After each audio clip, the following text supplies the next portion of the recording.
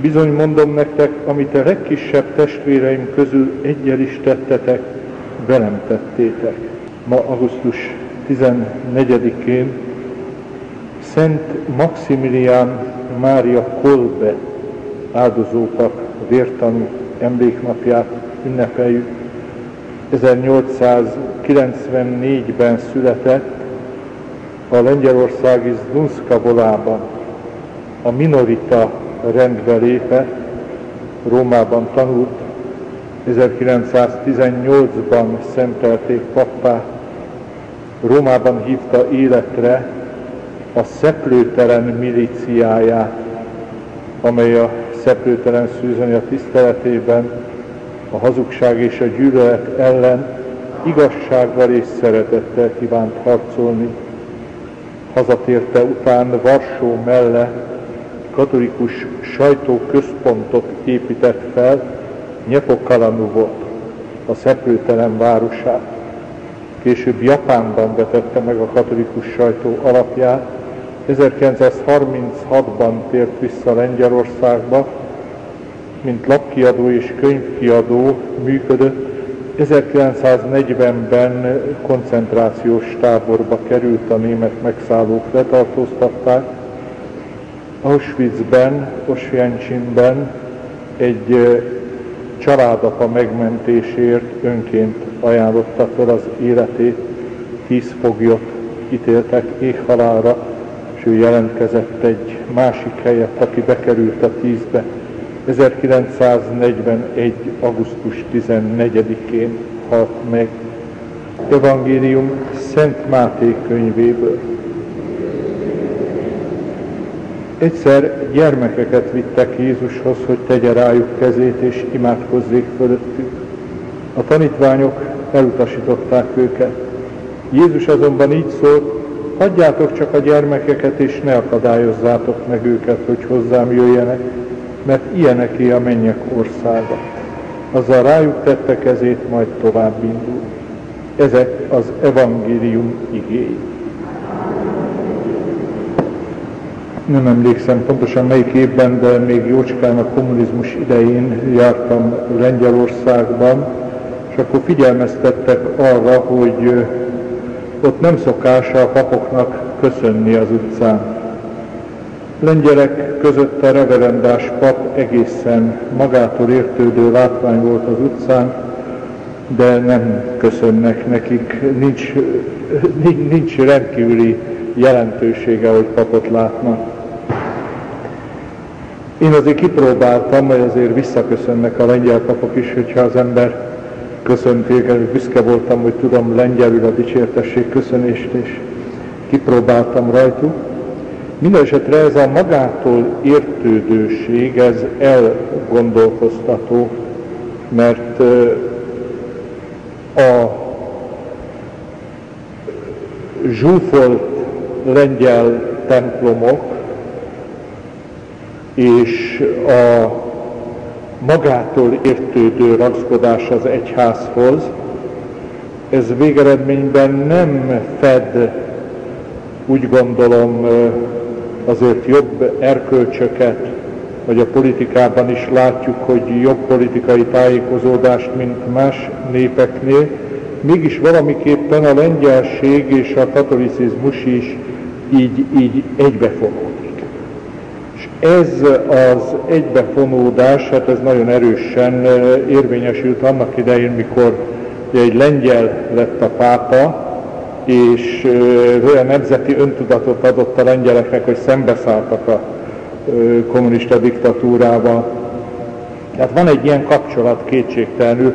Olvastam elég szomorú szívvel, hogy például a ukrán-görög katolikusok lengyel területen élő ukránok és lengyelek között bizony komoly feszültség volt, annak ellenére, hogy katolikus egyházhoz tartozott ez is, az is, itt valamiképpen ez a kétféle ritus közötti konfliktus, hát nemzetiségi konfliktus lett, és nagyon megfigyelhető egyébként a keleti egyházak esetében sokkal jobban, mint nyugaton.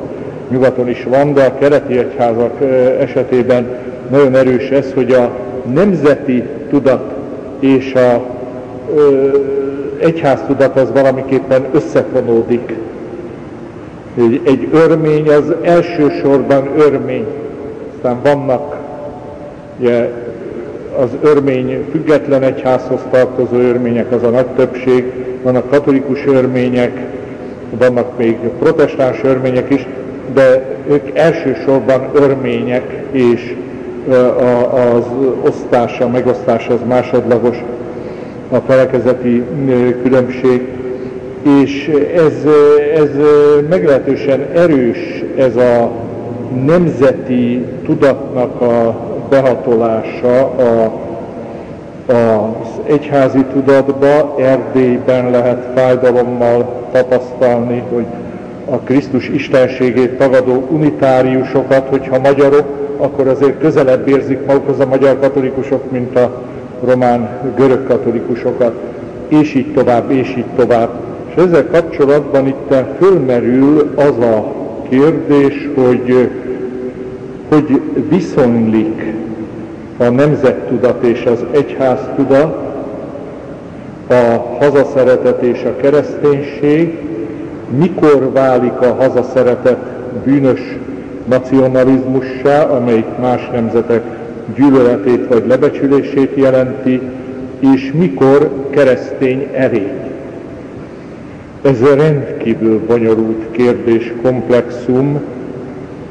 Kolbe atya is, mint kiadó, hát az akkori lengyel nacionalizmusnak, katolikus nacionalizmusnak volt a kiadója, amelyik akkor hát erősen német ellenes volt. Ugye Németország és Lengyelország között volt egy erős feszültség, ami aztán a második világháború kitöréséhez vezetett, és hát végeredményben ő ennek az áldozataként került koncentrációs táborba. Én azt gondolom azonban, hogy valami nagyon világos, nagyon éles határvonalat lehet vonni az egészséges hazaszeretet, kereszténységgel összeférő, sőt keresztény erénynek számító hazaszeretet, és a ö, nacionalizmus között, amelyik indokolatlanul, tehát csak mert a saját nemzetem más nemzetek rovására emeli ki a saját nemzetét. És pedig ez a különbség az ember szeretetben van. Van Szent János első levelének egy olyan mondata, hogy ha valaki nem szereti embertársát, akit lát, Istent, akit nem lát, hogyan szerethetné? Más szóval, könnyű mondani, hogy én szeretem Isten, de szeresd azt az embert, akivel ott vagy, együtt vagy. Az a próbája, a próbaköve az igazi hiteles Isten szeretetnek, és itt Maximilián Kolbe megállta a próbát, a hősies ember szeretet próbáját. Mindenek előtt ugye a foglyokat érő sok durvaság, megaláztatás, kínzás elviselésében. Ő példát adott a koncentrációs táborban, hogy zugolódás és gyűlölet nélkül is el lehet viselni. Tehát ő nem gyűlölte azokat az SS tiszteket, akik sokszor véresen kínozták, és ez valami hihetetlenül nagy dolog, a megbocsátás, az ellenség szeretet. Itt azt hiszem, hogy az Isten szeretet hitelességének legfőbb próbájáról van szó. Csillapítgatta a fogolytársait, nem adott, nem engedte, hogy a reménytelenség és a gyűlölet eluralkodjék rajtuk, pedig az nagyon könnyen eluralkodik olyan embertelen körülmények között. És aztán, amikor az életét ajánlotta föl Francisek Gajnovicek örmesterért, azzal, hogy annak családja van, feleséges gyermekei vannak, neki nincsen közeli hozzátartozója, hát inkább ő halljon meg. Amikor az életét így felajánlotta, és a tíz beleegyezett, mert neki mindegy volt, akkor valami csodálatos dolog történt meg. Egyébként Gajnoviceknek a feleséges gyermekei áldozatul estek a világháborúnak, tehát egyiket se látta viszont, mikor kiszabadult. Kiszabadult jövő a koncentrációs táborból, de a családja meghalt. Tehát nem azt érte vele el Kolbártya hősies áldozatával, hogy, hogy viszont láthatta egymást ez a család, hanem azt érte el, hogy van egy tanúságunk arról, hogy az ember képes szeretetből mindent odaadni. Senki nem, ö, senkinek sincs nagyobb szeretete annál, mint aki életét adja barátaiért. És ez a szeretet világít. Világított ott egy bunkerben, feküdtek mesztelenül a betonon, nem kaptak ö, egy falatot se, és ott lassú haldoklással haltak meg sorra egymás után, mégis ez a bunker különbözött az előzőektől, és ezt a őrség maga ismerte föl, hogy itt valami más van, mert itt nem káromkodnak az emberek, hanem imádkoznak és énekelnek. Az a csuhásot lent egészen rendes ember, mondták az eszeszek.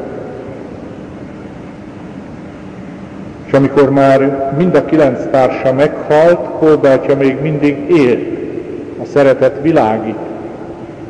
Tekintete világított, már mozdulni, beszélni nem tudott, de még mindig két élő szem nézett ki lesoványodott arcából, és a végén injekcióval ölték meg, mert kellett a bunker a következő tíznek. Ez a szeretet világít, és itt világosan kell mondani, hogy ez ember szeretet. Az Isten és az ember szeretet az nem választható el egymástól. Ez ember szeretet volt, egy ember életéért halt meg. Akkor, amikor emberek százezer számra pusztultak el a világba, ő egy emberért halt meg. Egyetlen életért adta a saját életét, amit mindenki nehezen ad oda. Ez a Isten szeretet hitelességének kézzelfogható bizonyítéka, és úgy gondolom, hogy ez a különbség. A hiteles hazaszeretet és a bűnös nacionalizmus között. Ez az igazi különbség mi, hogy vagy a másik emberrel. Szereted azt a másik ember, hogy a saját kultúrádat szereted, saját egyházadat szereted, saját nemzetedet szereted, ez mind természetes és jó. De hogy vagy azzal a másik emberrel, aki esetleg nem osztja a te kultúrádat, nemzetedet, egyházadat, hogy vagy azzal a másik emberre, tudod-e a másik embert szeretni, és ez a kiáltó jel jön az Auschwitz-i bunkerből, hogy lehet szeretni, hogy mindennek ellenére lehet szeretni az embert.